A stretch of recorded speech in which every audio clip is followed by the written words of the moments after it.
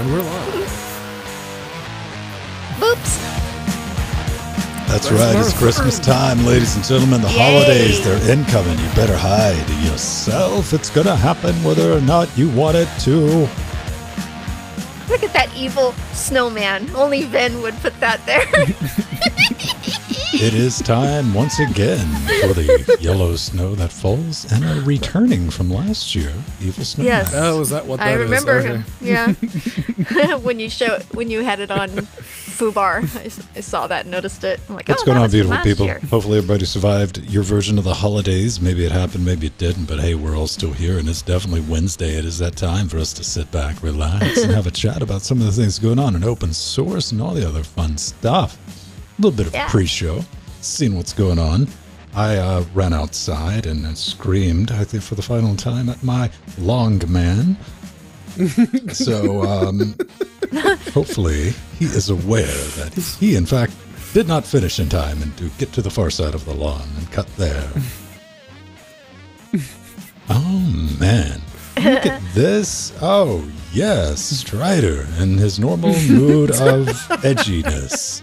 Aw. Hi, Art Theron. So edgy. hugs and love to Art Theron, and hugs and love to Strider. He needs it. He needs a hug. That's because he hasn't seen his friends in ages, except, except online, but in person. And his birthday. Yeah, I this could go for some Taco Bell right about now for some reason. I can't imagine why. I don't know, man. How like does Taco There Bell? isn't a decent taco place that actually delivers Oh, that's what I was to getting this at. side yeah. of town. Okay. oh, And uh, there's a couple uh, that use uh, Uber Eats, but Uber Eats doesn't deliver on this street because uh, screw me. I like that. Just that street, eh? Uh, yeah, no, basically, um, the street that runs parallel to this one uh, through um, Cherry Hinton, Mhm. no issues. This one, nope. poor Pedro. I guess uh, living right on the edge doesn't Yeah. uh, doesn't qualify me for Uber Eats delivery. Deliveroo, sure. Uh, just eat, absolutely. Uber Eats, no. All the other services are fine. except Uber Think about that. I'm sure everyone at some point's been in the um, middle of some arbitrary delivery map or something of that sort. You're like, really? Why not here? Like, eh, what you could do about it? This is still part of, you know, the actual city of Cambridge, not part of the extended, um, great uh, Cambridge area. It, it, it it's still very much, you know, Cambridge, and your camera just went dark. Really? Is that what happened? Yeah. Yes. Uh oh. No, that was definitely me going. Oh, Is that locked on their type? Eh, it probably is. We'll find out. We found out. yes. All right. Um,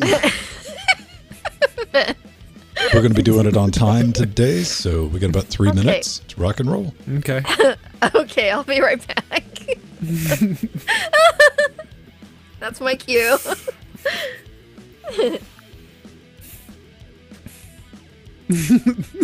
Yes. yes, he is a fox boy. Yes, he is.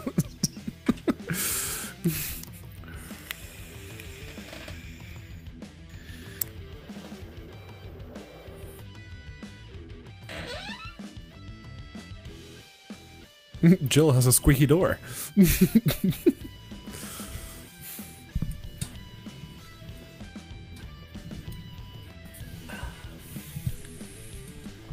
Yeah, speaking of squeaky, this chair started to squeak. This one's I think it man. might be the cold because I sat down today. It's like, "Eh? really? I uh, this one got like really bad, so I took the base off and I shoved some Teflon washers Yeah. on all the screws, so I think it's bought me a little bit of squeaky time. But the next chair I get is not going to have arms on it, so I can actually sit down with a guitar in here without going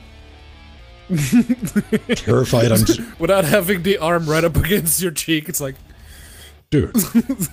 like, I need to record like getting into this position with a guitar too, which is hilarious. Because once I get in, then I'm like, how do I get to the headphones? Uh-oh.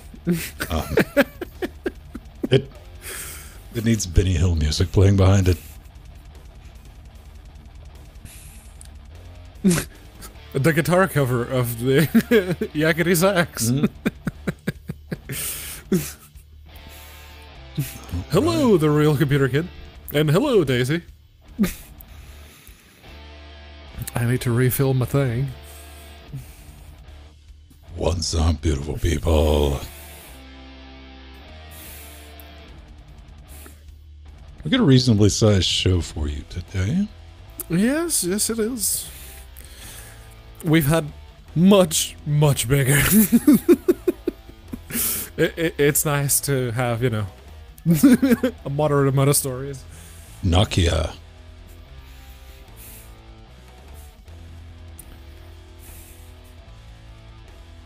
Bridge. Oh, Nokia also has the. Okay, alright.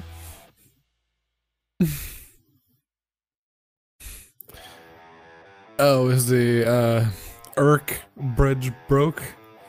Does someone want to poke Jordan? I mean, you got. Let's see. Uh, add Frojo. The IRC bridge seems borked.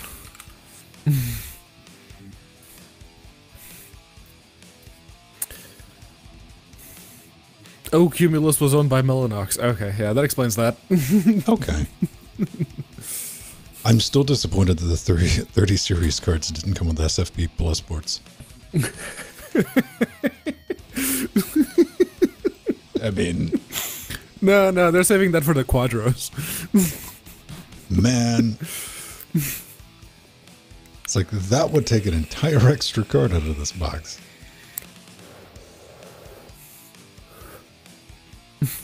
And I still had the last laugh, even you know, with the VR port, which is you know the USB C port that is Yeah. on the 2060. I'm like, I didn't get that for VR. It's like, yes, extra USB C port. To which later on, Scott was like, wait a minute, that's just a yep. Hmm?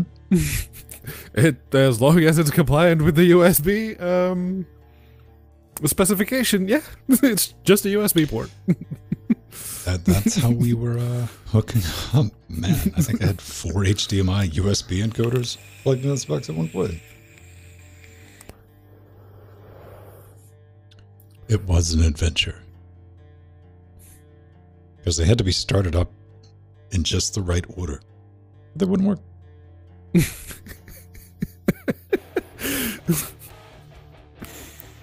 I remember you asking Laura, "Can I set the name of a device with a UDEV rule or something?" I still to this day have some crazy UDEV. I learned a lot about UDEV. I went from like, I don't need that in my life to like, what do you need to know? I didn't need to learn much to get the um, dual sense working. they added a uh, there's an update in the uh, client beta uh, this week. Uh, it they fixed it where it'll go to bed now. Oh, okay, all right. Yeah. Which, by the I way, just held the button down. you do what I do. Um, it took me a while to discover. PS4 controller, the DualShock. Uh, this is my normal. I get done playing game. I'd get done playing with. I'd set down a close Steam. Mhm. Logical. If you close Steam, these just stay on. Which I don't use this controller much. I'm like, the battery must just be shot in this thing because every time I went to use it, it was like low battery. I was like, oh, that's what's happening. It's not sending it the go to bed signal. Mhm. So this thing's just sitting there going, check me out. I'm on. yeah,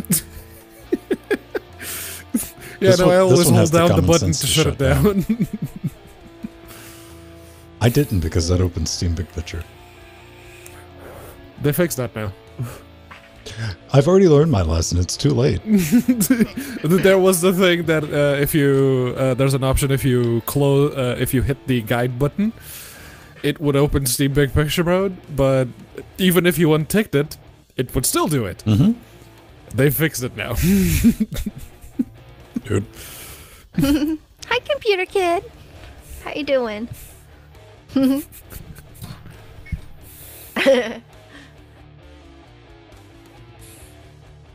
And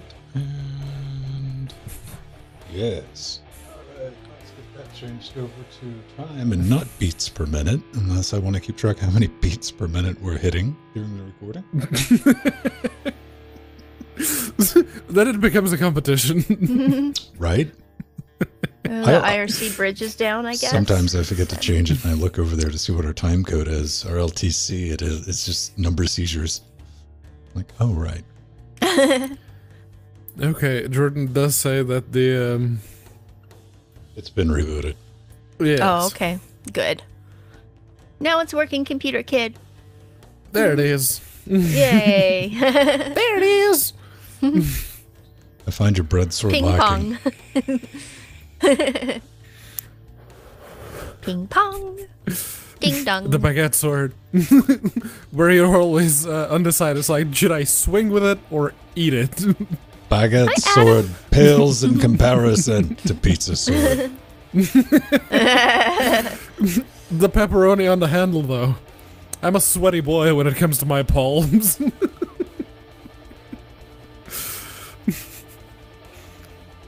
it would get very, very slippery.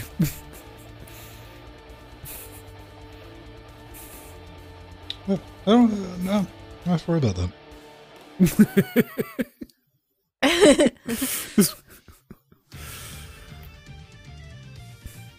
Yeah, I only notice when I'm really into a game, like really into a game, because I'll lift my hand off the mouse and it'll go. Ew. oh boy. I uh I just chalk it down to like arm length and size, man. I don't have like the best circulation in my digits. My hands are always like cold. So Well, I don't have the best circulation on my right hand. Go figure. Yeah. of course, yes. I don't have the thing that you know moves it up and down and stimulates the blood flow. yeah, Jordan, kill Pong. Use guns. Oh, I love Pong. That's what we need. We need Pong Royale. Battle Royale for Pong. I think someone made that. Yeah, I remember actually, seeing there- like uh, several like twelve players or whatever it was. Pong. Mm-hmm. oh yeah. Um, in fact, that was one of my favorite things I set up. Uh, I did a, a LAN party of at my old house at my parents' house. I set up. Uh, it was the 3D Pong, and I set up a 3D Pong party, and they had co-op and and everything. It was really cool, and you can get like 20 people in.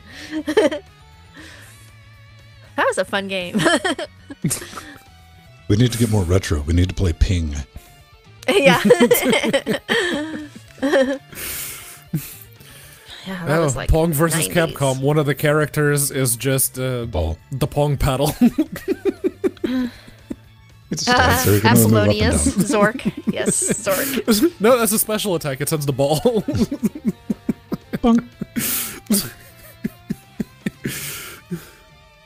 Oh man. Um, which one?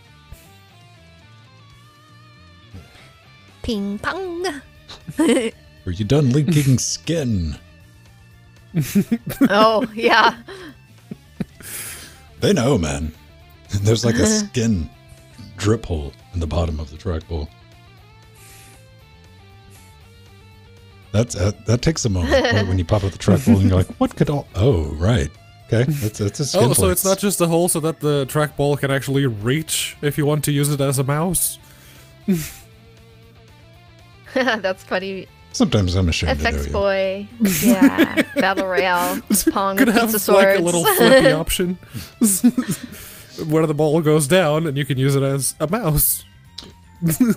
This ball is very. You can drop it on a marble floor and it can bounce exactly twice before it cracks.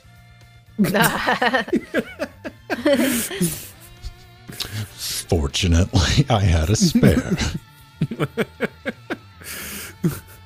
I was really impressed because it bounces and bounced again. I was like, wow, that didn't shatter. Oh, oh never mind. Oh yeah, a good reminding there, computer kid. we already ran past the time.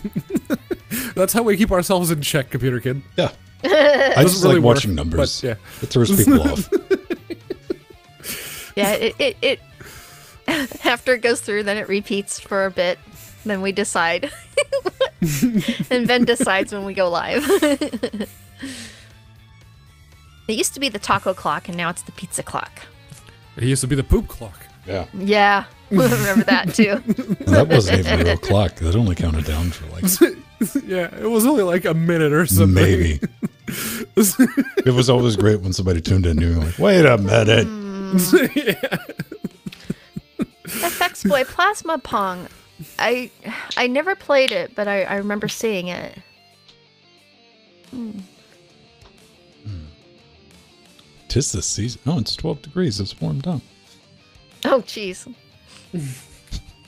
I like XFC's weather, man. I looked at XFC's weather, like, I guess last night, because it's probably like 1 o'clock in the morning, and I mm-hmm. just happened to mouse up. Mike came in here to shut everything off. It was minus zero. It's six. Six. Right. Okay. I like this weather app. Just F it. Mm. It's effing cold. Yeah, it's That's- about 20 Celsius here. The only Android app I ever made is a simple weather applet because, man, nobody makes a simple weather applet that just I pulls know. off NOAA, gives you, and Yeah. it doesn't come with like the weather channels. Like, hey, here's our little weather bug that All you can put up top, and Yeah. our social media network for commenting. And Yeah. I know. Would you like 10 day predictions? Please pay for the premium version. I, mm.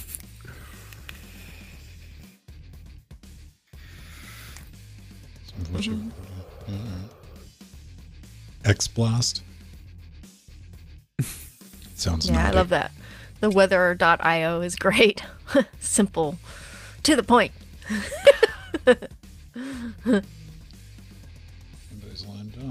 Everybody's lined up. It's good. All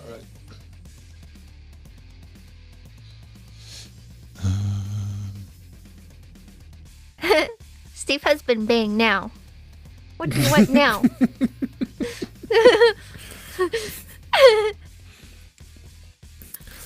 I don't know, Jill. That sounded like a request. That's for when he gets home. I mean, if you have to go now, we understand. You guys ready? Yes. oh yeah, no more weatherbot. Weatherbot is I don't know. Is Weatherbot even um Wasn't it No, it hasn't W? been on. Bang now? Yeah. Uh, last time I checked it, it didn't didn't Wikibot? wasn't working. Bots come and go, unfortunately. Yeah, and that one was having uh, financial issues. I know, so it came and went a few times. yeah, everyone's trying it. All right. Um, hey everyone, we're gonna do a show. So chill out. Yes. Let's get a recording. Bonk. okay. There we go. And mm, three. And welcome back to Linux Weekly Daily Wednesdays, where we can sit back, relax, take that midweek break, talk about some of the stranger things going on in the world of Linux. Spooky, spooky. Tis the mm-hmm. season, right? It's holiday season. yes. It is. Well, it's starting to be anyway. No, you absolutely look, man. it's- Frank's got on his Santa hat. Yeah, Yeah. it's beginning just to look a lot like camera a Christmas. little bit. He's been wearing that for a long time. No, he hasn't. You can shut up because that that took 15 minutes to get set up because I had to cut holes in things, man. So you can just go Oh. away, Pedro. Venn had to put real work into Hey, that. beautiful people. Yeah, as opposed to everything else in here, I, I just like slipped and it fell into place. Man, um, I'm Venn Stone. That's Jill Bryant. And uh, over there's Pedro Mateus. And we got quite the show for you this week. Um, been up to a bunch of things. I know, Jill, you had a surprise package show up right before the show. Yay, Yay! So I'm so excited. It's here. It's here. So I got my Raspberry Pi 400 computer kit in the mail and I got it this morning. I haven't even had a chance to fire it up. So that's what I'm going to be doing after the show. So next week I'll, All right. I'll let everyone know my progress and what I've done with it. I'm very excited. Right on. Here, camera. it's camera. you know what's cool is the SD card has a little spring in it, like a proper device. So when you take it, you want to. They've sold out Raspberry Pi. is sold out. man. See, it's got spring. Okay. I, uh, I, I'm going to need both this Raspberry Pi 3A and this Raspberry Pi 4 to not be offended by Jill just implying that they're not real devices. Dude, yeah, real, that's true. everyone, you gotta It's admit just- the best part about a spring-loaded micro SD card is its ability to launch it directly Yes. into your stove, and you're wondering how because you're in the basement. You're like, what? what did Yeah, but it was just a, a, a nice little added bonus. it has a spring in its step. Well, it is the fastest Raspberry Pi around, so. Okay. Yes, yes, it works. Right on. Anything else? Oh yes, so and I had a had a wonderful time on Jupiter Broadcasting's Linux Unplugged yesterday. It's always fun to be with uh, Chris and the Jupiter Broadcasting gang. I'm still seeing if this thing fits. I haven't worn it yet. I bought this last year. I'm Yeah. like, Ooh, yeah, it's a shirt. It's keep me warm. That's the end of my story. Pedro, what? Uh, uh you wrote nothing. I, I wrote nothing because I have nothing to work. As we're walking into Christmas, people thought, you know, it's a good idea to hire a bunch of people right now. So, yeah. we're at the point where we don't have enough laptops. Oh boy. So, so we're you having a, we're wait having a look at the pile of like older models with hard drives in it and Oh. going, well, maybe. Let's let Pedro upgrade these. I'm, I'm, I'm- frankly, I'm surprised they didn't call you. and Be like, you need to bring some of those back. I don't bring laptops home. well, the, I brought Okay. my work one. All right. That's it. Man, I've been playing around with a bunch of stuff. I've uh, been prototyping like a semi-advanced, uh, kind of in the weeds, um, like a Jack digital mixer setup. You know, it's a guide for like Linux streamers, and Jordan has Nice. set up his own test bed. He's given me some feedback on it, and the first draft of the it's going to be like a combination video guide with a bunch of stuff to take care of on your system, but the first draft of that video is in the announcements. If you're a patron, you can get into our Discord, take a look at it. I wouldn't play with it just yet, but you can watch it, kind of get an idea what's going to um, take place, and you can help if you want. More than welcome to follow along um, and provide some feedback because I, I got to revi- refine. I got to cut the sharp edges off this monster. But um, yeah, if you're a you know podcast or streamer or anything like that, this is going to be a nigh invaluable resource about the right way to get things set up without having to spend money. That's the important thing. You're going to be able to use your Mm. existing hardware, and it's going to show you how to make a smaller version of what we have here. And maybe I'll get that out um, by the end of the month. I mean, I, I, I, I, this is a very complex topic to tackle, and it's very important to come into it. Like Pedro's scared of it. yes. He is. I mean, I, I'm not saying that to give him a hard time. Pedro's like, I don't want to. Fortunately, Jordan was like, yeah, I got this. Mm, he, he's hammering on it. So, uh, yeah, if you want to go take a look at that and uh, stay tuned. That's going to be an exciting, exciting little project, but not as Mm. exciting as uh, people complaining about the lack of Linux Aw. on the new M1 Mac Yay. Macintosh. But yeah, so there's a guy Pedro. You might might have heard of him. Um, he's uh like Hector Martin. yeah, we're, we're probably gonna have to talk about that.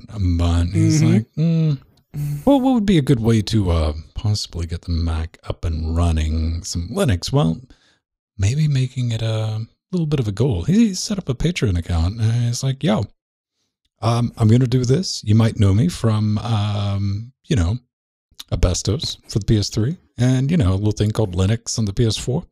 fail0verflow.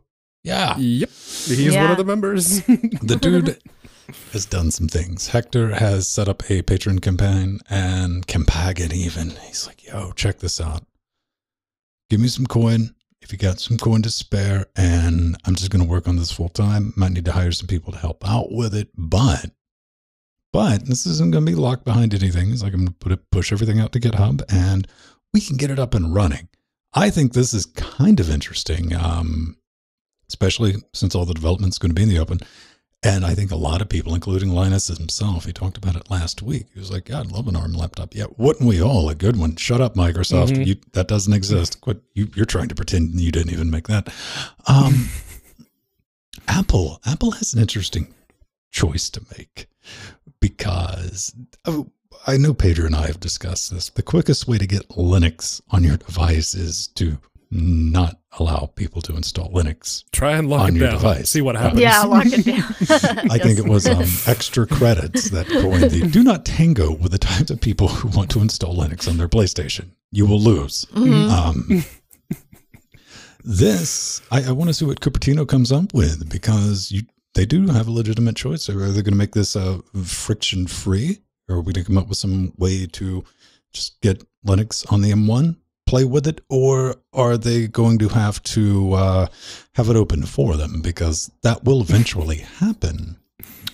Or option three, how about we just not buy hardware from companies that are hostile towards Linux? I mean, yeah, you need to tell Linus Torvalds that because I don't think um, he's buying one. yeah, well, uh, right now he says, "Sure, I I'd love to get my hands on one, but I need working GPU drivers, and um, right now that's not happening." So, even the PS4 uh, Mesa implementation for the weird Southbridge type of GPU that they happen to have on that system. It's not a hundred percent of the way there, but yeah. So yeah, 3D acceleration, uh, proper GPU support would be a must-have for uh, Linus Torvalds. So yeah, no, don't Okay. don't don't give Apple money. Aw. Well, you know, when we talked about this last week, I was even thinking, I bet you the the guy that worked on this PlayStation and the Nintendo Switch hack, uh, getting Linux on those devices, is going to be involved in this. And sure enough, he is. And um, I think this is really great. I would like to have the M1 chip with Linux on it, definitely. and uh, everyone out there, make sure to contribute to Hector Martin's Patreon campaign if you want this to happen. This is this is a good thing. Getting Linux on It all the devices. and yeah, if Apple doesn't play ball, uh, that Yeah. will just be broken open for everyone on the internet. While if they help them, they can maybe not reveal the rest of the vulnerabilities and just say, "Look, dude, here's the way to do it." Well, Yeah. I, I was reading this post. Um, you can get in for a buck; it's pretty cheap. Uh, but he's already working on um, doing discovering registers and all the fun stuff right now. So Yeah. yeah, mm-hmm. And I want to read the postmortem like they did with the PS4, where they explained like everything they had to go through. yeah, I wanna all the read that reverse postmortem. engineering. exactly. the wor- worst case scenario, you're going to get a very entertaining talk about this. And Yeah. so, GNOME three thirty eight point two. This is like a little point release, isn't it? Yeah, well, it, it is and it isn't. There's tons of updates and bug fi- fixes. So this is actually a really important release, and the and the last one of this of this year. And one of my favorite things, uh, my uh, most annoying bugs that has been fixed, and one of my favorite things is the GNOME Control Center now correctly detects when Ethernet devices are hot plugged. that was definitely an issue, and um, of annoyance, yes. So I'm glad that's fixed. And gosh, they have updates to everything to the, the music player and even to the GTK emoji chooser. Um, you'd think that's not important, but it kind of is, especially for those of us who do lots of tweeting. so, so you can um, now allow inserting multiple emoji by pressing the control key on the keyboard and they updated the emoji data to Unicode 13. That, that's a big deal. Oh, so, does it have the uh, anatomically correct heart emoji yes, now. it does. It does. but uh, the one thing, and the irony was absolutely not lost on me. The second paragraph of the article proper is uh, they improved support for uh, in GNOME boxes um, to have GNOME OS installed. How yes. it you know in that teeny tiny little GUI application that you created for QEMU and KVM and uh, I think libvirt as well. How do you not support your own OS?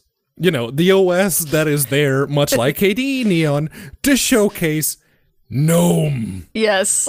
Your desktop. I don't know. Maybe they were too busy making it on a desktop environment that didn't crash all the time. Uh, well, uh, they did fix the one crash that Jill mentioned, uh, but yeah, GNOME OS actually, I it got me curious. It's like, oh, so they have a KDE, KDE Neon type of thing. Let me look that up. Yep, that's exactly what that is. It's just a very bare bones uh, version of uh, Linux distro that runs GNOME. It's there to showcase what it can do, and it has the latest version, and it does all the things the way GNOME would, you know, uh, have them done. Which means it's an operating system that I will never um, willingly touch. I mean, if someone tricks me and says it's like, oh, it's Linux, like, okay, I'll start poking at it until I open the terminal and see GNOME OS. Oh, bye. aw. You're such a sweetheart. Uh, yeah. now, something I do not have a lot of experience with, we were talking in the pre show before we went live, is uh, VPNs. I just don't have much of a use for them in day to day life, um, minus. Uh, you know, several months back when I was having an issue with uh, DaVinci Resolve, one of their solutions was try resetting your um, registration keys with a VPN, which I think I used like NordVPN, which I was like, hey, look, they're they have a Linux option on the command line. I thought it was really sweet. Somebody else wants in on that sweet, sweet um, out of the box Linux VPN action. They do, and it was one of the biggest ones that still didn't have support because NordVPN, uh, private internet access, actually, private internet access has done a bunch of things for Linux in the past, but uh, Proton VPN was still very much missing. There was a community effort that sort of created a um, a CLI version to that would allow people to use Proton VPN, but now it's official. It's still in beta, but it is official, and the uh, command line is actually very simple. It's just Proton VPN CLI, log in, your username, and then it asks for your password. And then you um, type in um, Proton VPN CLI C to connect, uh, L to pick the location that you want to use your VPN uh, from, and uh, D for disconnect. That that's very good. That that that's actually very good. considering uh, the PIA alternative, which is n- nowhere near as simple, but PIA does have its own GUI, and even better, it's that little script that PIA offers for everyone who's not uh, on, you know, uh, GUI, uh, Debian or Ubuntu based distros. You can actually, uh, you can also run that script in Debian and Ubuntu, but that will set the all of the VPN connections that PIA offers uh, into the network manager applet of your desktop environment. You just go into VPN connections and you get the full list of them. You just have to pick one. And uh, I would also recommend going in and adding the uh, username and password to the ones you actually use. Because otherwise, it just asks you, okay, put in your username and password. Boom, you're connected. I think it's neat. That's man. I mean, really this, nice. This does show some acknowledgement. Of, hey, man, people are using desktop Linux. Yes, they are. It's kind of brilliant. What are your thoughts? Uh, would we like to see some type of GUI or some type of like DE integrate? Would you? Re- I guess it'd be better. Oh man, what if we, what if we get a snap? or app image or flat pack. I'm, I'm just trying to get Yeah. Pedro started on something. it's being distributed as a deb. Okay. so the official Proton Beta app does not support split tunneling right now or running on a headless system. So you'll still have to use the community Linux client for that until they they bring that functionality into the official app. So that's very important to know. And um, what's what is awesome is that the Proton Mail Bridge for Linux was launched in April, and it is really nice to see more progress being done for Linux with with their VPN, the Proton VT, VPN. Very cool. I've been using PIA for a while, so but it's nice to see some other uh, lots of more effort done on the Linux side. More support. I mean, Yes. yeah, hundred percent. Blender just keeps on releasing new hotness. Oh It can't yes, be stopped. it can't be one stopped. day, one day They're we're gonna amazing. get a finished version of Sintel game. so Blender 2.91 has been released, and this is the fourth major re- release of our favorite open source 3D and 2D animation and modeling app of this year. So this is this is really amazing. There are lots of sculpting updates. That's that's actually huge in this re- release, and the sculpting includes support for collisions in the cloth sculpting tool. and it also introduces improvements to bevels and Boolean operations and updates to the UI animation and simulation tools. And this is uh, one of my favorite new tools is the new box trim and lasso trim tool, which lets you add and remove geometry from a model using box selection or lasso gestures. That's really helpful. And some of the other 3D programs out there allow you to do this. So they're just, they're doing all these fine. I can finally make with- whatever that's supposed to be. Yay! yes, and you can make Oh, it blink. it's, it's an avocado with uh, with red hair. Oh, oh. There's their motion. But that, no, no, can't have that too long on screen. Otherwise, Jet Set Radio is gonna sue somebody. And and thank you to M Foxdog for letting us know about this update. That's pretty cool. Blender's rules. Blender's one a of my great program apps. that, you know, everything in my life is going swimmingly as long as I don't have to use it. You know that XKCD about uh, how well your life is going till the last time you open um, xorg.conf for Venice Blender. It is. yeah, it is actually. I, I he just likes to to use it, it. for doing test renders. He doesn't like to use it for much more. Oh, to the contrary, Jill. I use it to make actual things that I use I instead know. of test renders. yes, and so have I. That's what Fox uses it for. I'm sure he uses it for other Yeah. things, but we my- always see the test renders. That's I'm genuinely my issue with um, blenders because you know I don't sit and play with it.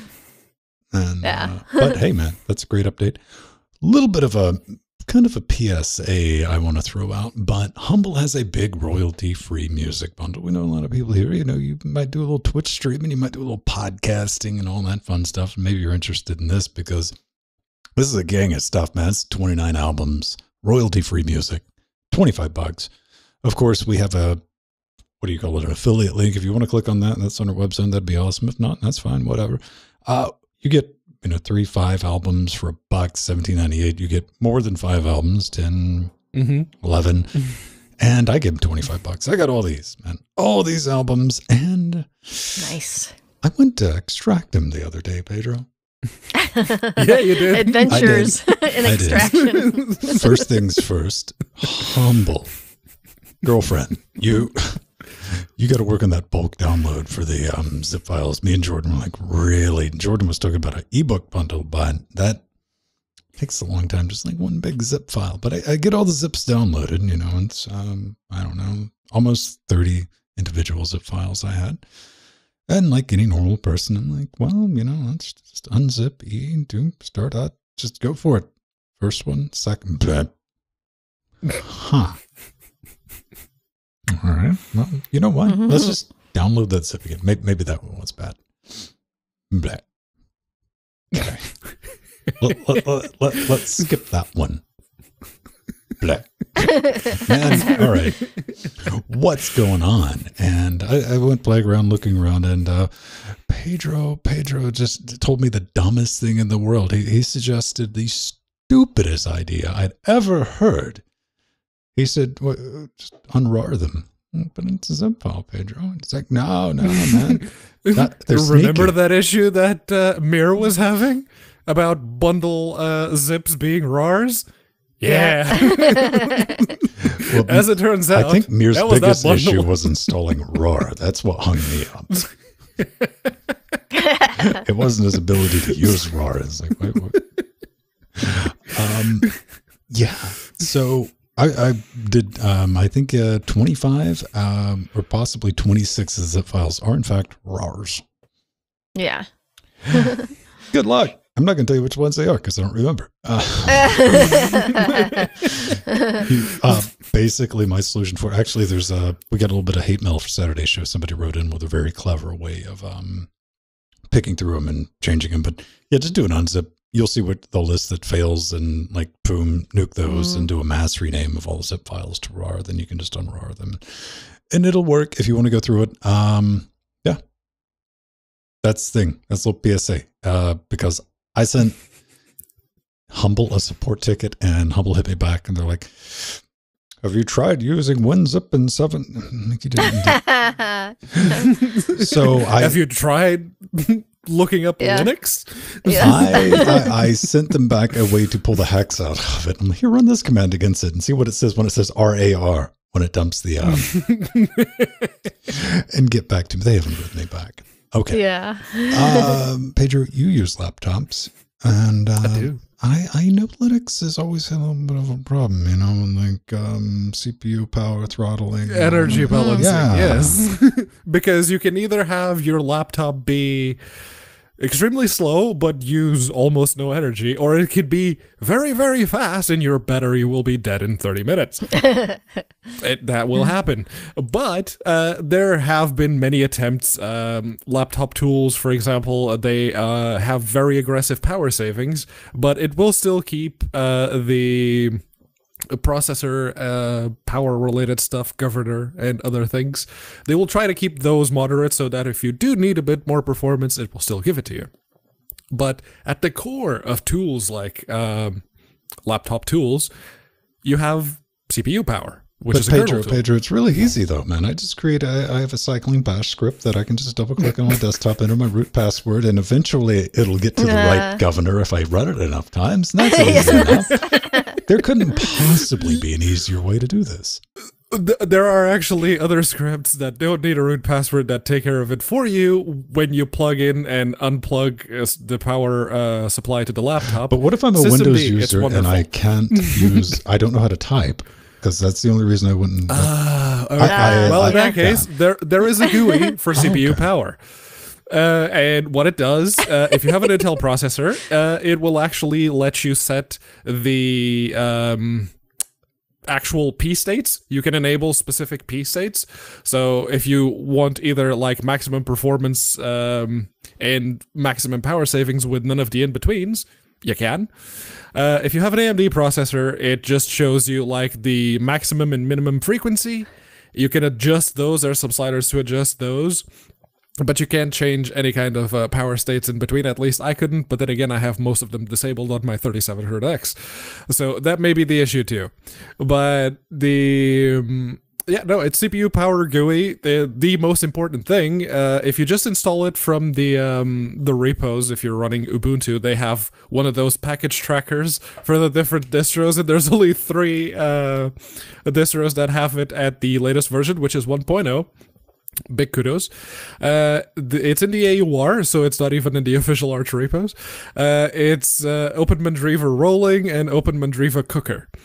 So yes, if you have Ubuntu or Fedora or something like that, not 0.7 is what you're currently looking at. this got my attention because this made me I'm like, what do I really want? To? Oh, right, you can run it on your Pine, Pine phone.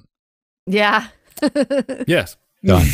I mean, If you don't want to type in sudo CPU power G, uh, no frequency set G, and then the uh, have you the ever actual seen me governor that to you want to use like a to. six inch? It is adorable watching me try to. Yes, I would like a GUI. Oh, with your big hands. Yes, that would be a challenge. Yeah, this is this is really nice. It's an easy way to set your CPU to performance for playing games if game mode isn't There's an installed. way. Yeah, yeah, and it's it's actually uh, good for those of us who do a lot of rendering of animation videos because there's some there's some soft software that doesn't support GPU acceleration yet, so we have to we're relying on CPU. But I was really happy. I actually found this in R Linux. So I was really happy to come across CPU Power GUI. Nice. Yeah, that's the thing. Um, go check it out if you want. I've found um, on demand is my it, it is my new hotness for governors for desktop, and again for laptops, it makes perfect sense. Conservative. Yeah. Uh, Yeah, simply for laptops, because perfect. most of your laptops are going to be Intel anyway, because AMD only made seven CPUs for so it would seem. yeah.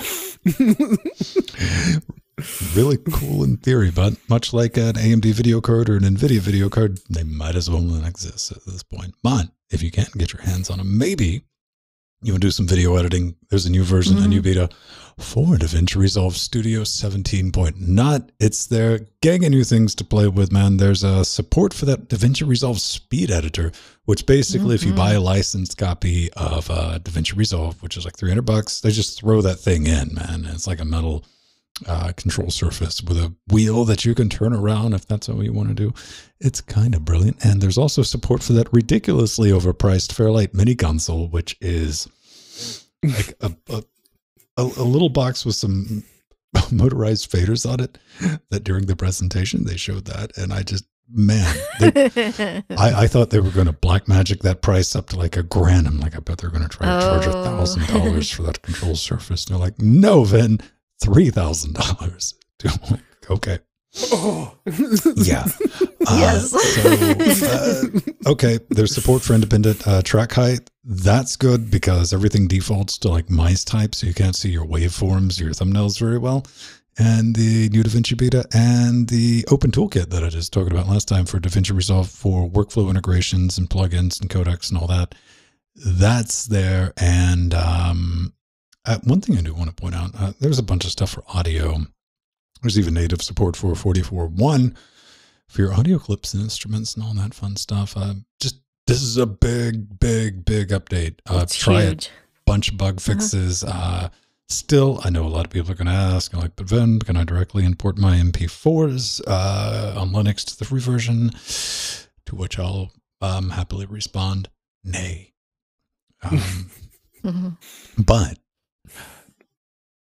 it's a cool product. I mean, if you're doing um, any type of serious video editing, I highly suggest going and checking it out. Now, one thing I do want to point out with this version, with the latest 17, um, since the first version, normally I would say if you're on Debian or anything like that, anything outside of CentOS, um, you would use make resolve deb, make deb resolve, whichever one it was, to do that, like I've done in my guides. But I did notice that on if you're running Debian 10, or I'm pretty sure like on your Ubuntu's 1804, uh, 2004s, you can just run the run file if you want to feel brave, and it should install regularly.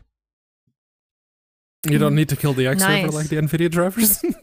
Oh, yeah, yeah. So what I was impressed with this version, with this version, is they're using their neural engine AI much more. So the Magic Mask now uh, using is using the DaVinci neural engine, and it generates tracking masks, which will be a lot easier for pr- productions. And um, I've actually been waiting for these effects to come to DaVinci. There, it's the Resolve FX motion trails, temporal motion blur, object trails, and disco effects. Yeah, it, it's it's kind of about time because I've been using those uh, effects in animation apps since the '80s. so I was waiting for that for in DaVinci, Well, I and mean, it's, it's pretty advanced effects for a video editor. yeah, but it also is doing motion graphics now as well. Well, it's Um, it's like Fusion Light. I mean, it's Yeah. got Fusion in it. I should make also point their 3D modeling suite Fusion is available too, uh, the latest version. yeah. so there's just um, uh, speaking of uh, of the motion graphics integrated, uh, they have GPU accelerated 2D shapes uh, toolkit now for motion graphics, which is really awesome. And uh, just something fun and, and, and cool is you can now uh, directly upload to Twitter from within D- DaVinci Resolve. so that was, I don't, I would never do that, but You don't have to worry about it because on Linux none of that works. The this is like uh, one of the feature parodies that's off with the Linux version. The Mac and Windows Yeah, versions have Win- account Windows integrations for YouTube and Twitter and stuff like that, so you can post directly. Don't have to worry about that on Linux. This is not there. Well, you just export it out and then upload it. so there you go. So It's uh, going to be just as slow. yeah.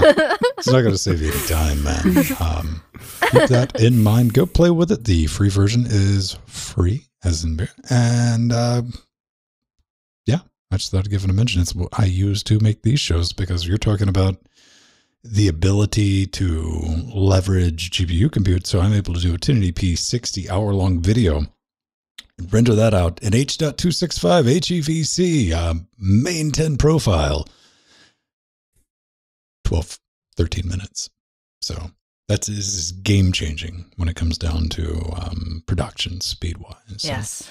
go play with it. Still got plenty of love for Kdenlive, but yeah, when it comes to like time, hmm.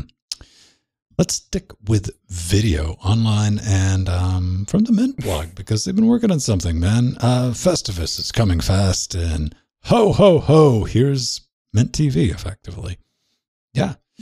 Yep. Uh, Hypnotix. Uh, you got a preference screen now, so you can configure multiple TV providers. That's interesting. And you know, if you got VOD set up, Massively illegal, depending on the country. Yes. it's going to be setting up um, IMDb. It's going to be pulling data from that, and um, Vita is currently available. So TVs, movies, and sales.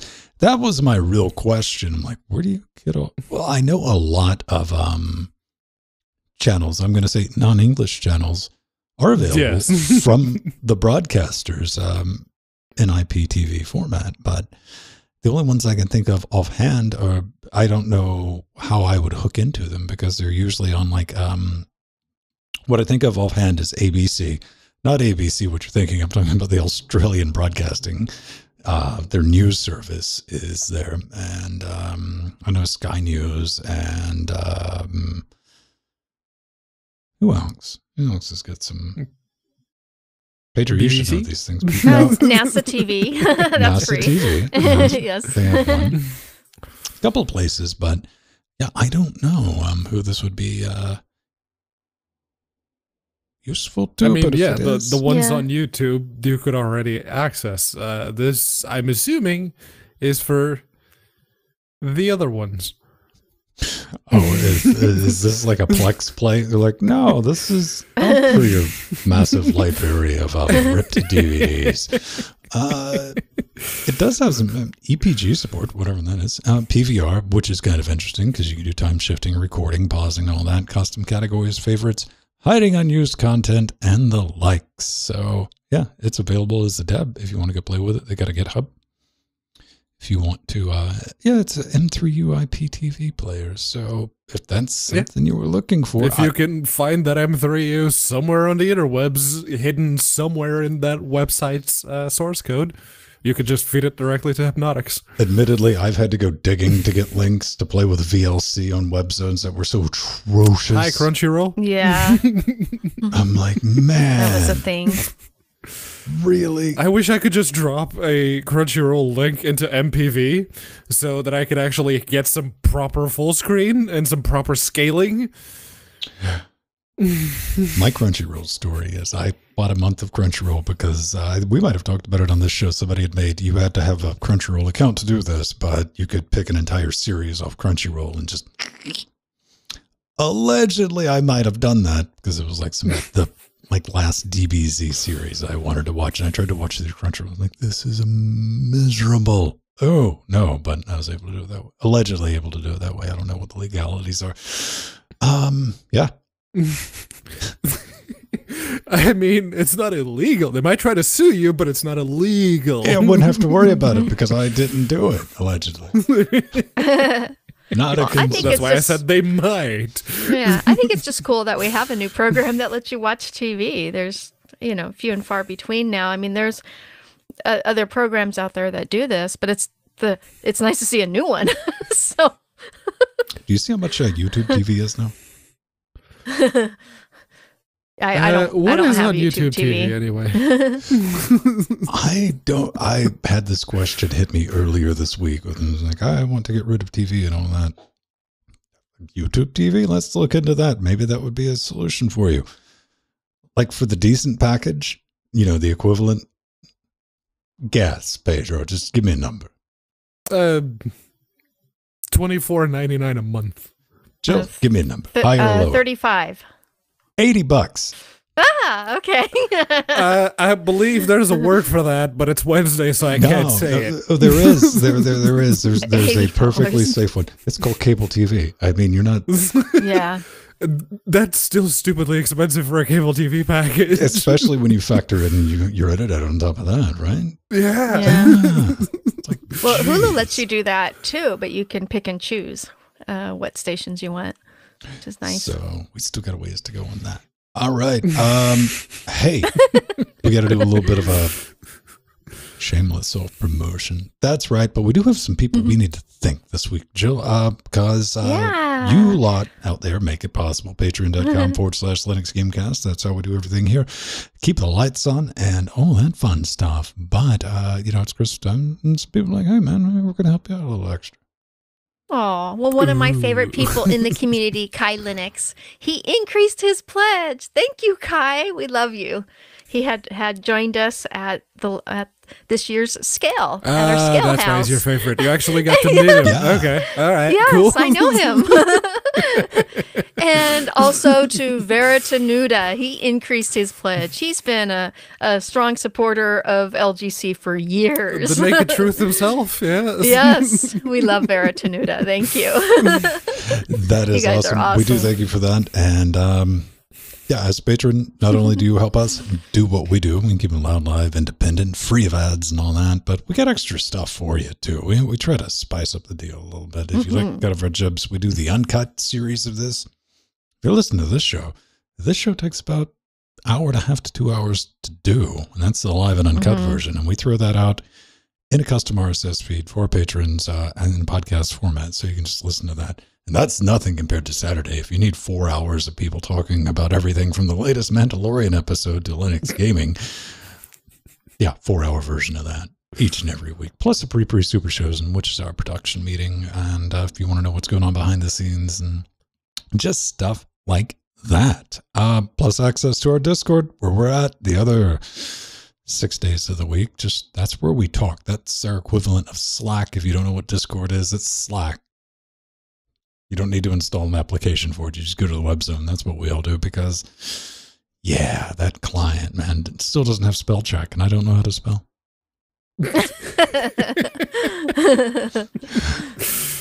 All right. um, that's enough shilling. Let's get into uh, a slice of pie for Ah. resources for Pie Day. And Cherry pie. Pedro, you got something Pecan the jam.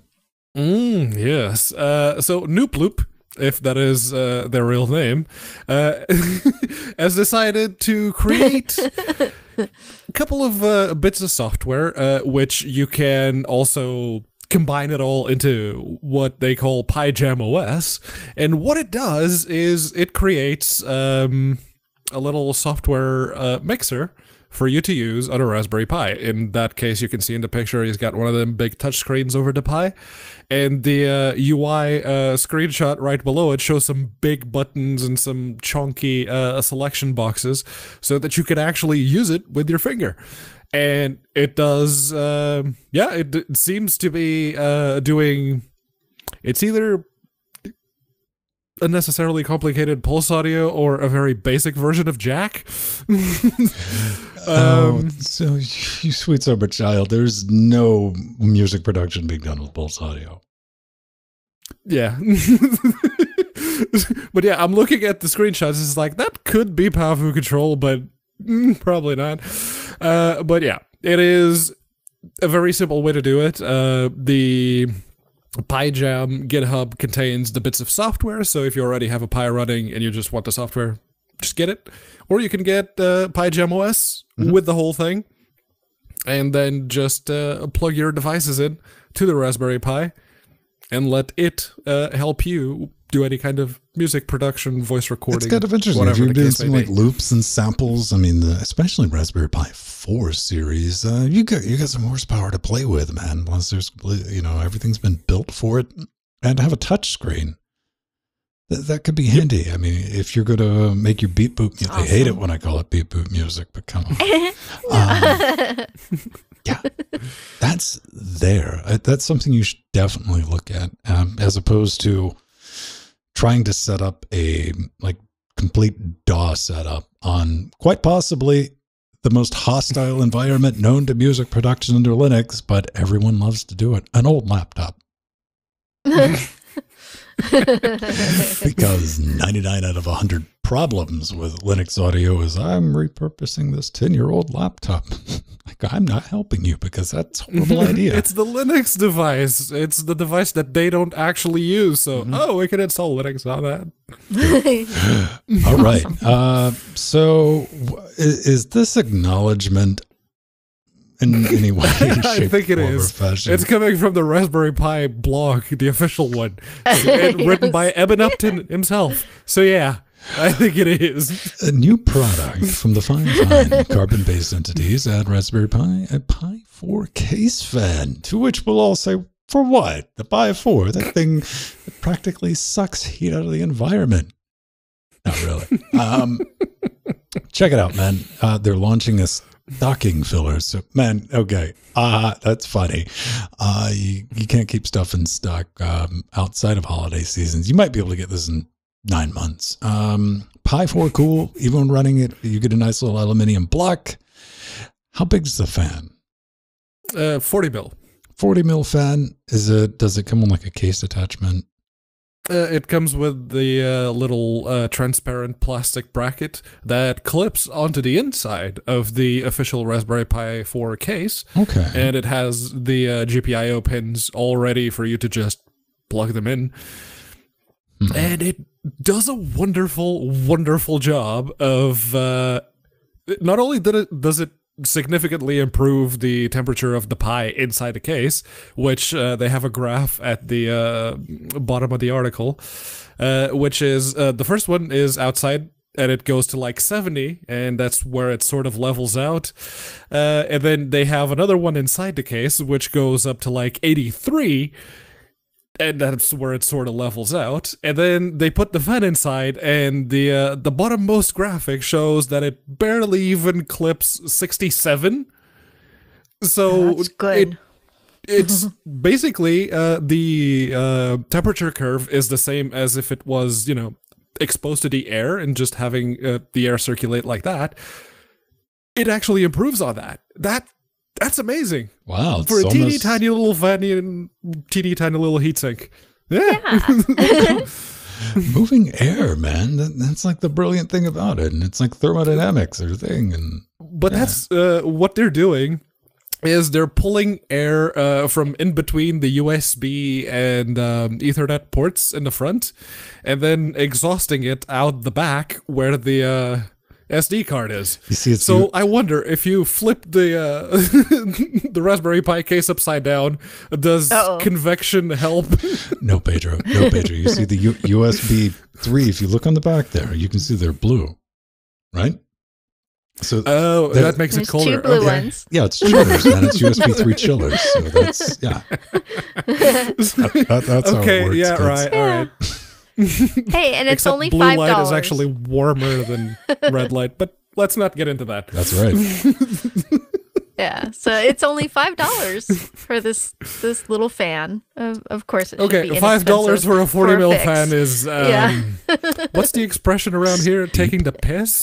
yeah, But it's an official fan. yeah. Even The then, official that fan. Five dollars for forty mil fans. I'm trying to grab some forty mil fans that I have around here. Oh yeah, I've got I've I've bought some I think for like twenty cents before.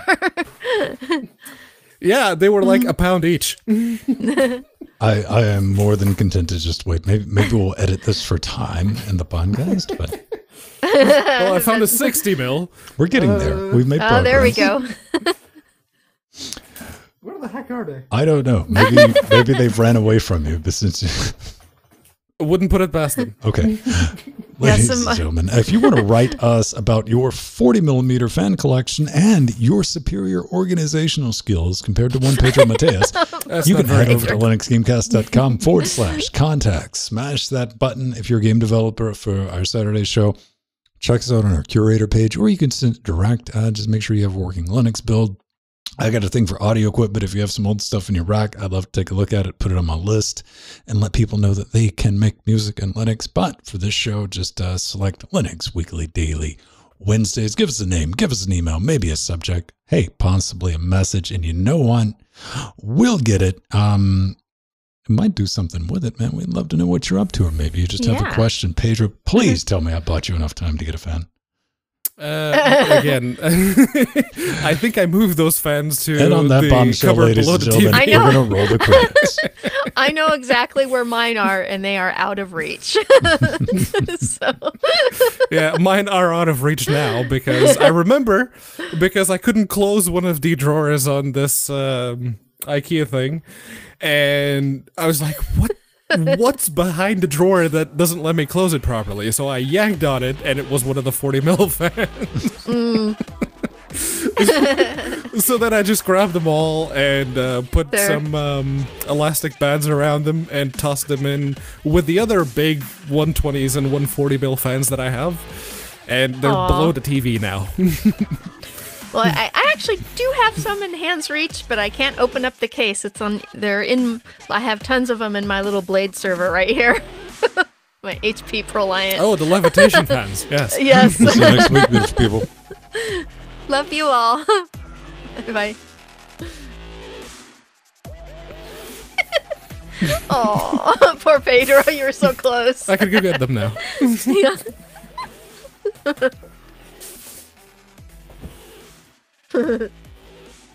Pedro.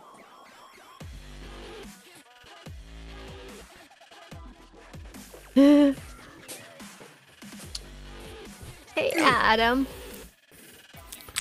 Oh yeah, Four of them. there you go. There, Four the 40 stack. mil fans.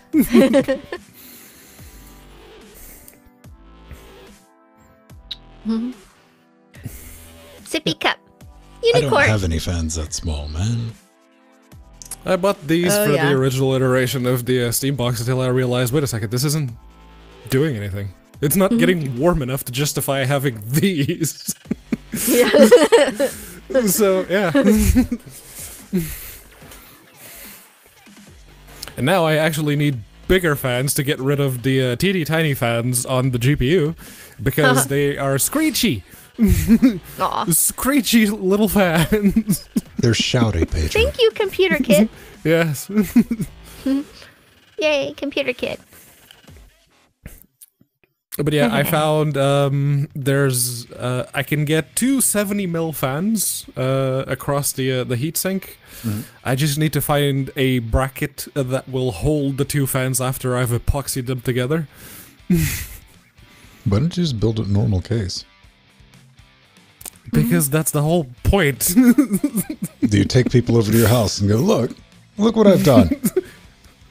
I mean, not you know, current pandemic argument, but uh, Oh, I see it, Adamax. Cool. Probably four NAS. I love them too, FX boy. I do. Uh, actually, n- n- seriously, that uh, 1650 uh, for the amount of power it draws, that is a magnificent GPU. If you have an old PC that what you need for it to become a reasonable gaming machine, 1650. nah. Don't get the super. You need uh, a six pin uh, extra PCIe power connector for the uh, 1650 Super, which uh, basically puts it on par with the 950. It's the why. Why would you do that? why would you get that card when you could get the mm. 75 watt one? So it's like a PS5 with a bunch of extra steps.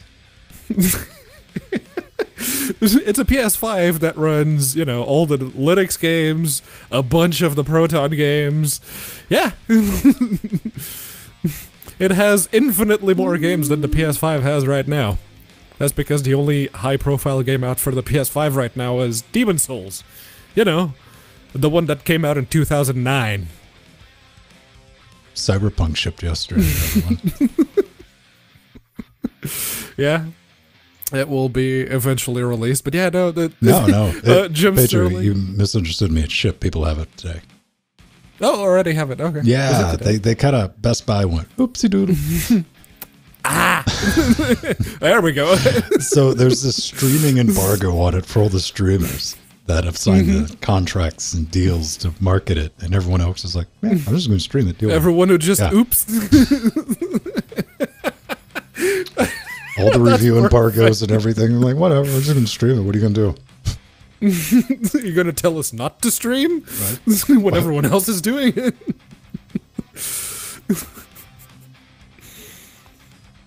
Oh god. Uh, you could uh, probably play um, Cyberpunk on the 1650. Playing it on Linux might be a bit of a challenge on accounts of it's out Uh, or it's not out. Yes, so true, FX Boy. yeah. Linux has more games than M1 Mac. Yep. oh yes, that's a given. Uh, who who wants to develop in metal? No, someone said that they were uh, porting the game. It wasn't Fortnite. It was some someone else. Wow, that that narrows it down to like Let's see. Uh, game announced port to M1 Mac. Fortnite.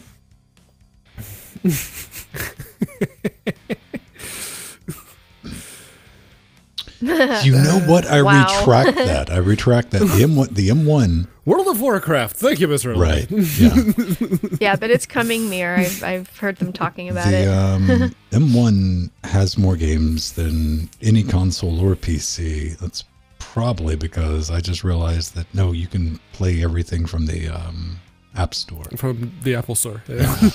Poorly because touchscreen emulation, but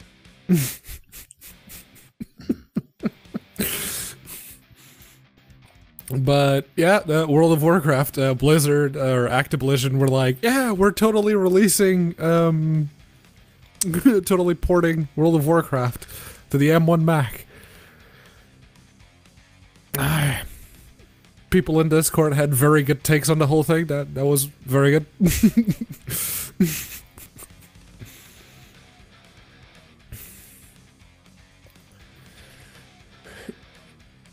so if metal doesn't exist, what are they using? GLES? Like everyone else?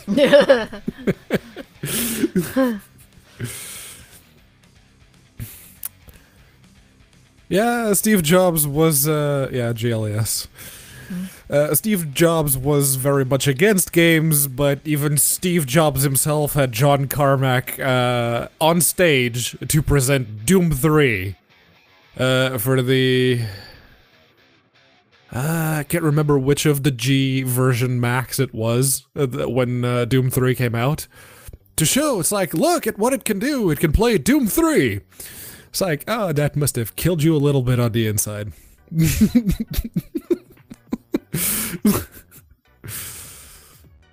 he was all about uh, making money. And he did. yes. He uh, once he took the reins of Apple uh, when he came back to Apple. Yeah. that and Microsoft's money kind of pulled Apple out from the brink of uh, non-existence.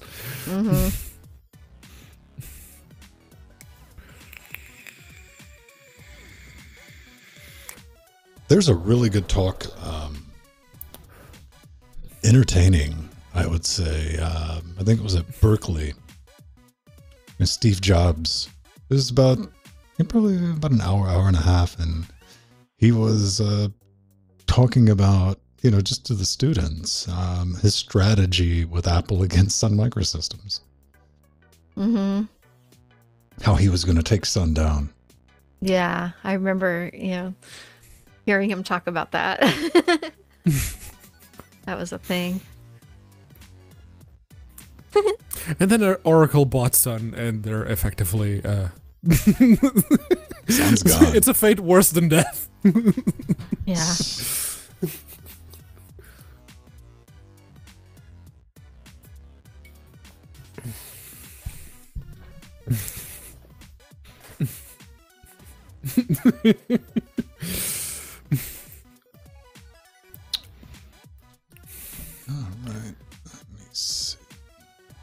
Yeah, you could make the argument that Atari was against fun too. After all, they did kill the video games industry in 1983.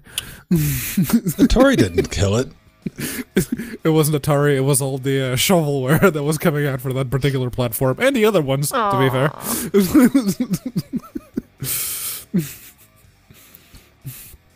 Nintendo had to fight hard just to get a couple of stores um, when they were doing test marketing for the NES get them to carry it. It's an entertainment system. It's not a game game console. It's an entertainment system. It comes with a robot buddy. it is a very simplified computer, and no one put two and two together.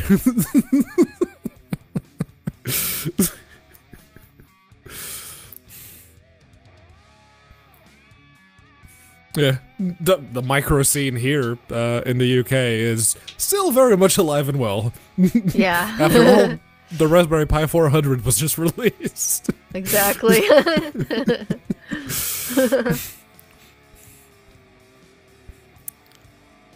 Yeah, form factor wise, that's probably the single most powerful computer in that particular form factor. Yeah, actually. Just because you couldn't f- uh, you couldn't fit a LattePanda in one of them without it, you know, cooking itself to death. What's amazing is how I thought it would be a little thicker than you know the. I've Custom seen so many reviews of it, but it's very yeah, thin. that uh, that l- lower bit, uh, it's a custom PCB. It's like a stretched out version of the uh, Raspberry Pi 4 PCB. Yeah. Yeah, and it's got the heat sink. Well, we talked about it. Yeah, it's got the heat sink, the, the special heat sink. My favorite thing about the holidays, when I think about it, is um, all the sites that you've inadvertently or just had to create an account for throughout the year that you've forgotten about. They get really outreachy, and you get to go to unsubscribe. all the like Newegg. I'm sorry, Newegg. I unsubscribed from you. You wouldn't. Yeah, yeah. I got so many emails from Newegg, like Oh. for like um, you know, the Black Friday and Cyber. Like there was one day I had like I think six from Newegg, and it, it was not like a hung up system. It was like, oh, these new deals, come on, buy something. I get it, but no. Yeah, truth Amazon be told, didn't even I've send me a single yeah. email about the Black Friday deals. I got a Oh, I bunch of emails tons. from. Uh, I got a bunch of emails from other companies, but not but from not Amazon. Amazon.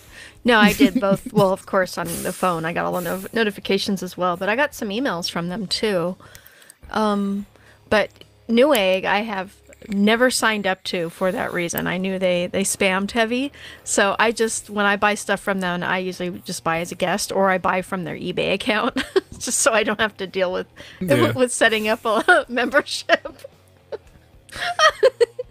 Oh, GOG did burn me a few years back with the emails. There was a week that I counted them. It was over 25 emails from GOG. It's like, oh, I no, believe that. Yeah. we're done.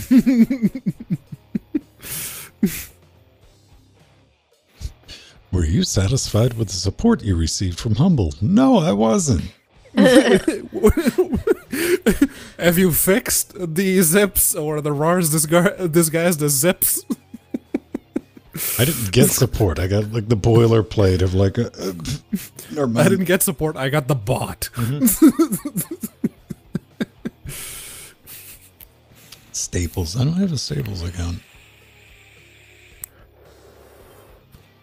I had to uh, invoke GDPR to uh, nuke all of the accounts that I'd created for stores in Portugal a while back because it's like, look, do you want me to call GDPR or are you just going to shut down my account?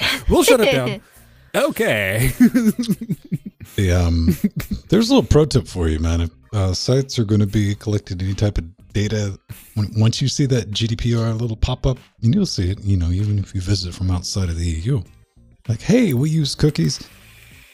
That means it might not be easy to get to, but somewhere on that site, there's a setting to tell them to go F off with their data collection on you. Mm-hmm. And if they are found to not be abiding by it, well, Google just learned how the fees are for that. and Apple. Let's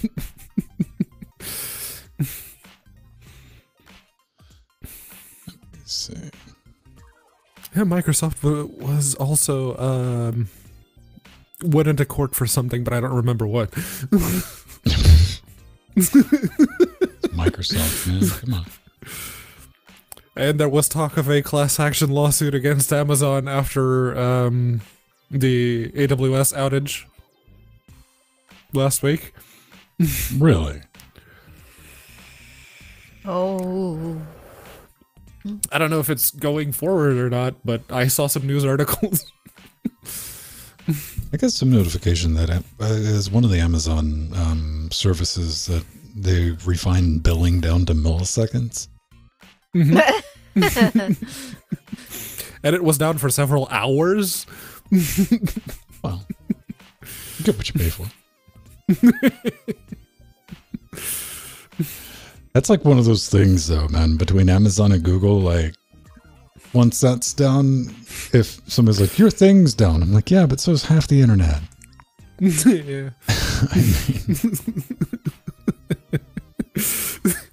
Oh, Google went down. Well, there goes about 25% of the websites. Okay. I looked at Horizon Zero Dawn, but that thing had a poo rating on uh, Proton DB.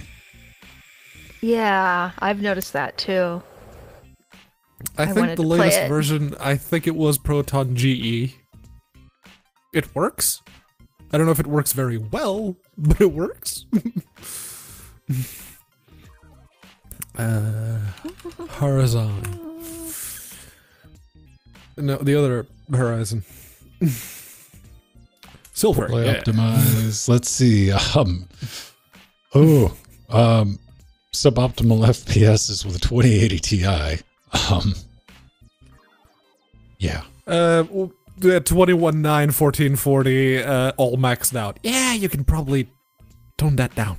With the 2080 Ti. Uh, uh, you mean a 3070? Yeah. In some situations. Basically anything that doesn't need more than uh, 8 gigabytes of VRAM, yeah.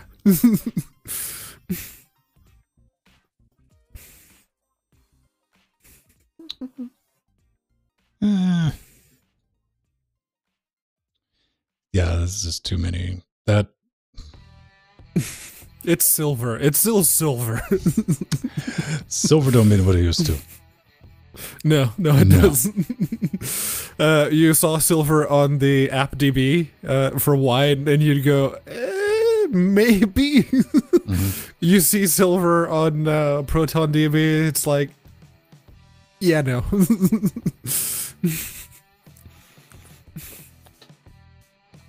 Assassin's Creed Odyssey.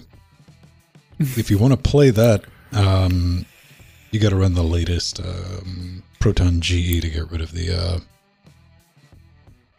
BS letterboxing throughout the entire game.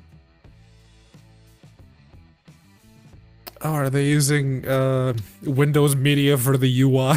no, it's it does um, has issues detecting your screen resolution. Yeah. so there's like all these other like weird moon hacks out in the weeds. I'm like, let's just use the latest version of Proton um, GE eight or whatever it is, and it just works out of the box. You're done with it. nice. And you know, if you can run one Assassin's Creed game, it's the same game, so same performance as you should expect with a. you can go back Origins. three or Yeah. four years and play all of the Assassin's Creeds. the uh go on the 521, 2060 at 1080p on high eh, 60 70 playable Uh, the one thing that I saw with um, when Valve released Proton 513 was games that make use of um, WMVs and uh, WMA audio. Some of them started working, but Dark Souls 2, instead of playing the intro cutscene, I, I get the color bars of like the test screen and the staticky on one corner is like, Ooh. What, what, what, what? I remember when they first updated that several months back to make a lot of that stuff work. There was one game I was that was like my game that I was playing through. It enabled all the uh, crap, the unskippable BS at the beginning of the game. I'm like, no, I'm not using that. So I made sure that. I hate that game developers. I get it. Publishing studios, I get it. On the first time you launch it, you're like, oh, okay. On the first time, sure, I will sit and watch all the cutscenes until you show me the press any key. Yeah, press any key to continue. Right. It's like, let's Yeah. start. NVIDIA, AMD, blah, blah, blah. Don't have a seizure, bro. Um, that, okay, I get it. These, yeah, exactly. these are our rights. the first time. That immediately is unwatchable and old on the second time you start the game. I don't need to see that again. Which Oh, is why a lot poor- of people if you go to the um the steam forums oh yeah just move all of the big files uh, out of the folder and create empty text files and rename them to the same thing dot bik it'll just skip them there's a bunch of games where that where that actually works Yeah, FX Boy. I've uh, played with the the UPlay app. It's not fun. Ugh. Yeah, I, i, have had two games similar. on uplay Yeah. one was uh, south park the stick of truth Yeah. because Oh, yeah, that's they were right. giving a key away for a while and the other one was uh, came with the 970 uh, the crew Okay. which I, I did a stream on Yeah, I I had Assassin's Creed. They gave it to us for um back in 2018 when we were testing um Stadia, and so they just gave us a free copy in our UPlay accounts, and I was like, oh, that, that that's neat. And I tried a couple of things to get it up. I even just out of morbid curiosity, I had some free time. Let's see if I can get this working correctly with Lutris, and played around with it. And it's like, yeah. And um, nothing against Lutris on that. It was just it. I couldn't get it. I just got the Steam version, which uses Uplay, but it also has the advantage of um, big advantage for me, at least, was to do the shader precaching. Ah. Uh. So it went from tinker, tinker, tinker, tinker. Nope, nope, nope, nope, nope, nope, nope, nope. Play. Done.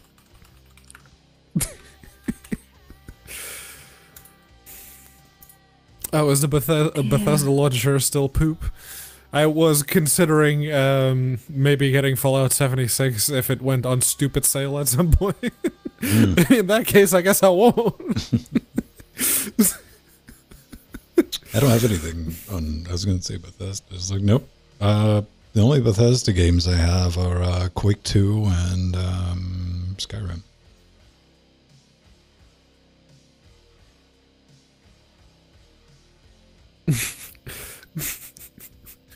because they've managed to fix some of the bugs. and it, it is a Bethesda game, so I always expect bugs. And it thus far, it's the only Fallout game that I haven't played. Yes, I played uh, Tactics and Brotherhood of Steel on the PS2. I don't talk about those because, as far as I'm concerned, they don't exist. But I want to try 76. It it just. Uh, I mean, I understand it's all directly from the same company and all that, but even watching your Fallout forums, like it's just it, it just looks like a bad Skyrim mod. it was pre Skyrim. Doesn't change the fact that it looks like a bad Skyrim mod. pre-Skyrim. Yeah. Ah, I was trying to remember what game I last bought from you played. it was that Anno 1800. so I wanted to play with that. Wasn't that one of the games that had a really stupid activation based DLC that tied itself to the hardware? Oh yes, yeah, that was an issue. I remember uh, it was one of the Anno games, and like um, hardware reviewers they swapped a bunch of video cards on the same uh, install of Anno, and after like the fifth, no, you gotta buy a new license if you want to keep playing because you changed your hardware too much. Doesn't Windows Annoying. have something built like that? If you swap out hardware too many you times, swap you get out, reactivated. um, I think if you do a complete system swap, if you just take the SSD to another, it goes no, the it's no longer activated. You need to call Microsoft for them to re-enable it. uh, or if you change enough of your system, uh, you can replace like motherboard, CPU, and RAM in one go, and it'll remain activated. Nori's still is. It's actually using the key from one of the laptops. I just pulled the key from the BIOS, and typed it in. Oh, hey, it works. There you go. I have two Windows 7 keys on the top of these Dells, but I don't. They're there. Yeah, I use the um, the Windows 8 key for the cheapo Lenovo laptop uh, to activate uh, the install of Windows in Nori's PC, and it, it went like, "Oh, this is a key for Windows 8. Congratulations, Windows 10 is active." Okay. I assume I have a Windows 8 key for that tablet. Probably, yeah. Probably. There's a uh, command script uh, that you can run. It'll just pull the key out. on the tablet. Yeah. All right. I, You'll have to no. type it in the command no, no, line no, no. the- on You, the tablet. you, you were like, I would have to cut it on. I have You'll have access. to charge it a little bit first, too. Uh, yeah, yeah. I have access to the iTunes account now from Linux. I don't. That thing. No. Yeah, it took a while for Apple to actually enable people to log in from the web browser.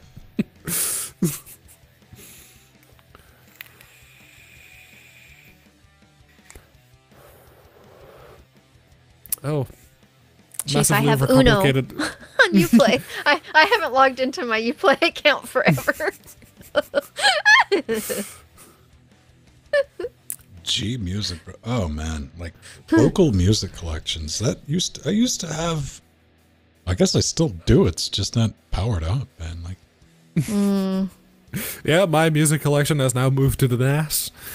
Uh, all 30 something gigs of it. Um, It's not very big. Just because I'm very picky with my music. Uh, of like an entire band's uh, discography, maybe I'll like two, three songs. That's it. I listen to YouTube music these days. That's pretty much. That's very Yeah, the, convenient. YouTube has has figured me out, so it's like, oh, you, my mix. Click on that. There we go. yeah, I was really happy when they added that. Oh, nice! Now it plays everything that I favorited, you know, in in a playlist. It's make nice. suggestions similar to those. And the algorithm's Yeah. not very good. Uh, when it goes through uh, the ones that I actually like and it starts suggesting new ones, it's like, no, no, no, no, no. Yeah, that one can stay. No, no, no, no. no. then I have to wait for the current song to finish for it to load more. It's like, okay, no, no, no, no. Well, to that point, I don't know what do you call it now. Do I have? I had Google Music, YouTube. Is it you? I guess this is YouTube Music now. They keep changing it. Yeah. yeah, play music is dead, so it's just YouTube music. Yeah. Oh, I know, I can still say, okay, Google, play Type O Negative, and it brings up my Type O Negative channel, which isn't isn't just Type O Negative, but it's that genre hmm. of happy fun K-pop. yes. I love K-pop. Without the absolutely toxic Western fan, fan base. Oh, I'm not entirely sure that they're aware. They probably are, but they're probably not aware of just how bad their fan base is on this side of the world. Every fan base has that side, man.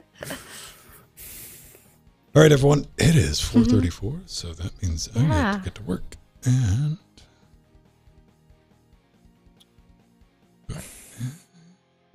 so I hope everybody has a fantastic rest of your week. Jordan will be back tomorrow with something. yes. Jill is the very antithesis of toxicity. Oh, Pedro. he said that good. Well, I have to um, uh, pronounce the word antitheses very uh, deliberately. Otherwise, it's just antitheses. Well, at least you didn't say Antithecarian. oh, Arthur. Thank Is you. that a, a hybrid between um, uh, apothecarian and um, antitheses?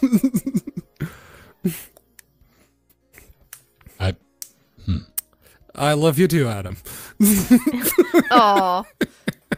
Yes, he is, Adam. Pedro is intoxicating. I'm in the process of intoxicating myself, but that's where it Oh. stops. but you were last last Saturday. I was, yes. Again, I I started drinking early that night, and I finished a bottle of whiskey, and then it was just beer for the rest of the night. that's how you do it. toxic. Jordan.